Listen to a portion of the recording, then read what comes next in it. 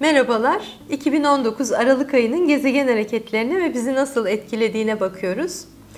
Aralık ayı Jüpiter'in Oğlak Burcu'na geçişiyle başlıyor. 2 Aralık 2019'da Jüpiter Yay Burcu'ndan çıkıyor. Oğlak Burcu'na giriyor. E, Jüpiter popüler bir gezegen, şans gezegeni, bereket, bollukla ilgili bir gezegen.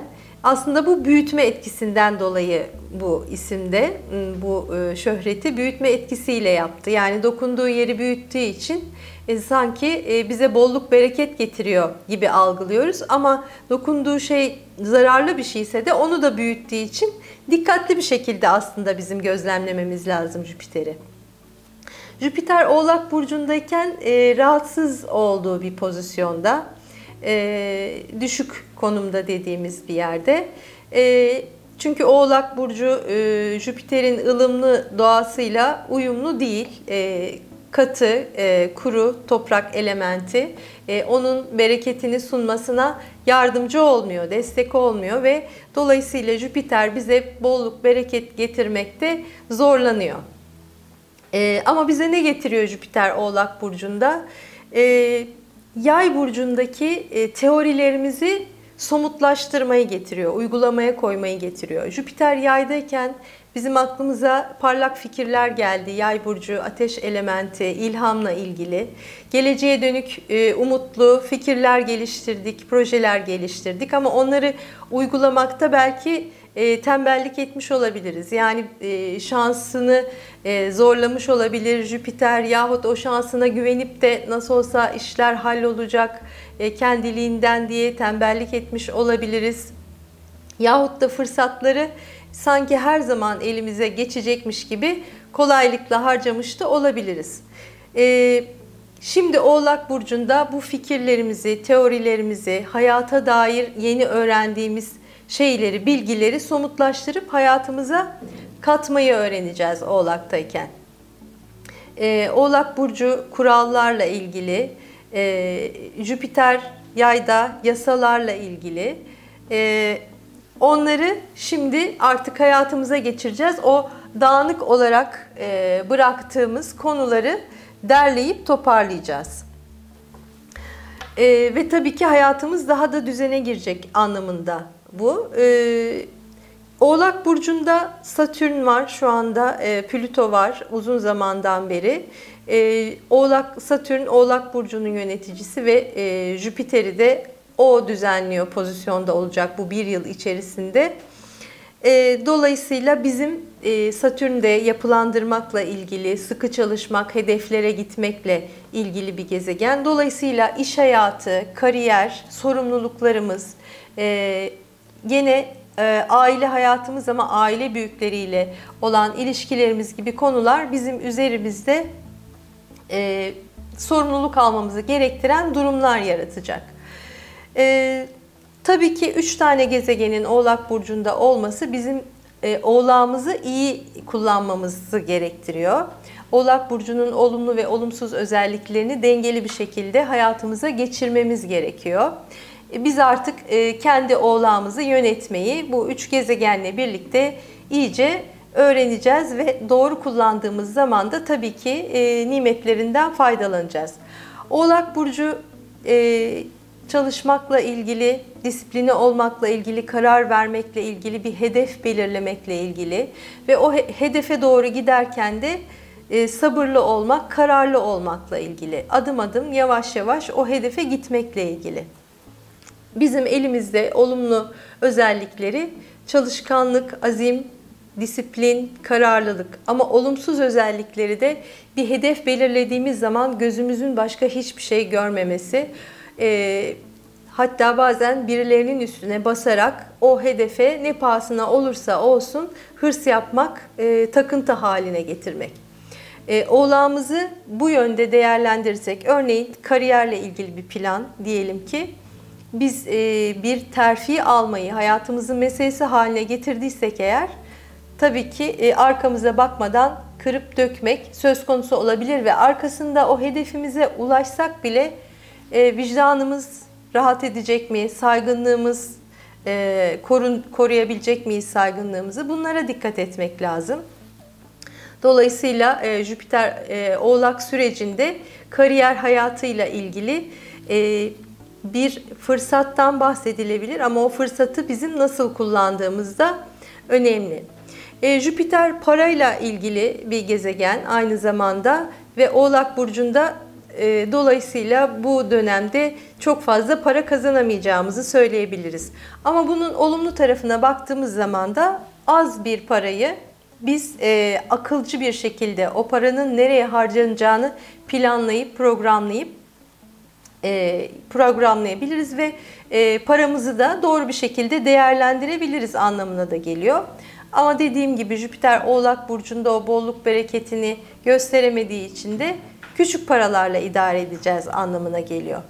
Şöyle bir örnek vermek gerekirse diyelim ki bu yıl bir e, fırsat çıktı ve yeni bir işletme açmanız gerekiyor sizin. Aslında baktığımız zaman çok önerilecek bir dönem değil bu. Yani karın çok büyük olmayacağını söyleyebiliriz. Ama yıl içerisinde Jüpiter'in Jüpiter'in diğer gezegenlerle yaptığı örneğin aralığın sonlarına doğru Uranüs'le bir üçgen açısı var. Venüs'te Uranüs'le e, karşılıklı ağırlamada olduğu bir dönemde aralığın sonlarına doğru bize e, fırsat sunabileceği yani beklenmedik bir e, yerden para kazanabileceğimiz gibi etkileri zaman zaman yıl içerisinde yakalayabiliriz. Ama bunları dediğim gibi haritamızın özelinde değerlendirmek lazım.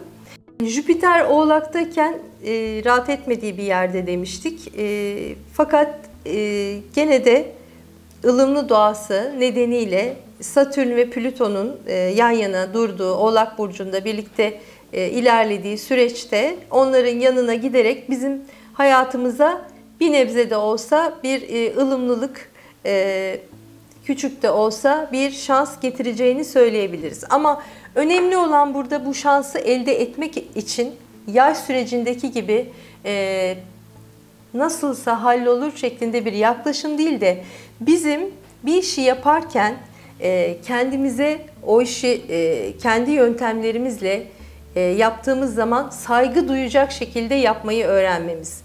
Çünkü Oğlak Burcu en nihayetinde kendi koyduğu hedeflerine e, gittiği zaman kendisiyle saygı duymayı öğrenmesi gereken bir burç.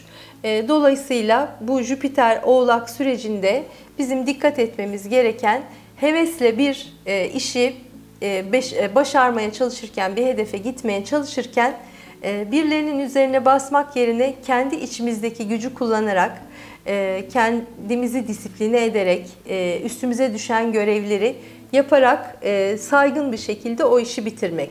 Jüpiter Oğlak sınırlandırmakla ilgili demiştik. Jüpiter yaydayken e, biz sınırlarımızı bilmiyorduk. Daha ileriye, daha e, uzağa gitmek istiyorduk. Ama şimdi Oğlak'ta senin sınırın ne kadar, neyi ne kadar yapabilirsin onu öğreneceğimiz zaman. Çünkü Jüpiter e, yaşam felsefesiyle ilgili bir gezegen.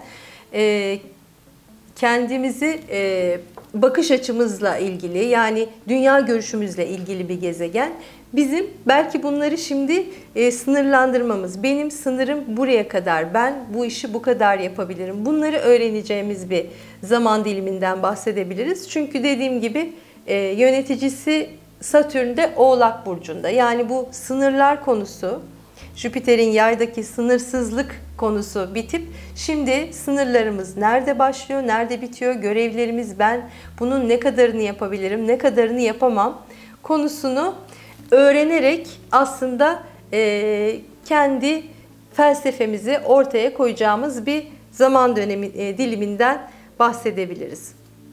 E, Jüpiter tabii ki Oğlak Burcu'nda e, tüm burçları etkiliyor. Çünkü hepimizin haritasında Oğlak Burcu var ve Oğlak Burcu'nun düştüğü alanda bize e, bir takım e, öğrenmekle ilgili olduğu için Jüpiter bir şeyler öğretecek. E, ve deneyimleyerek öğrenmek Oğlak Burcu'nda deneyimleyeceğiz. E, bir takım işler yapacağız.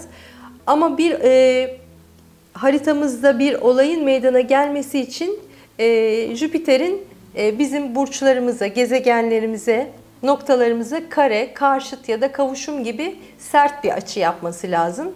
Böyle baktığımız zaman koç burçları, e, yengeç burçları, terazi, ve Oğlak burçları e, bu etkiyi alacaklar. Yani Jüpiter onlara daha fazla az önce bahsettiğim konularda e, harekete geçirici etki gönderecek. E, aynı şekilde gene bu burçlarda Koç, Terazi, Yengeç, e, Oğlak burçlarında noktalarımız varsa Ay, Venüs, Mars, Merkür gibi diğer gezegenlerimiz varsa, yükselenimiz varsa aynı şekilde Jüpiter'in bize gönderdiği sert etkiyle hayatımızda yeni bir deneyim alanına geçeceğiz. Yeni bir şeyler öğreneceğiz ve oradaki sınırlarımızı göreceğiz anlamına geliyor. Her ne kadar Jüpiter Oğlak burcunda zayıf bir konumda olsa bile dediğim gibi ılımlı doğasıyla bize yine şans getirebilir ama nasıl biz e, kendi e, belirlediğimiz hedefler için sabırlı, kararlı, azimli ve saygın bir şekilde çalışırsak Jüpiter'in e, kısıtlama özelliğiyle birlikte gene de şansımızı elde edebiliriz. Umarım gökyüzünden gelen mesajları doğru bir şekilde okuyup hayatımıza olumlu bir şekilde katıp değerlendirebiliriz.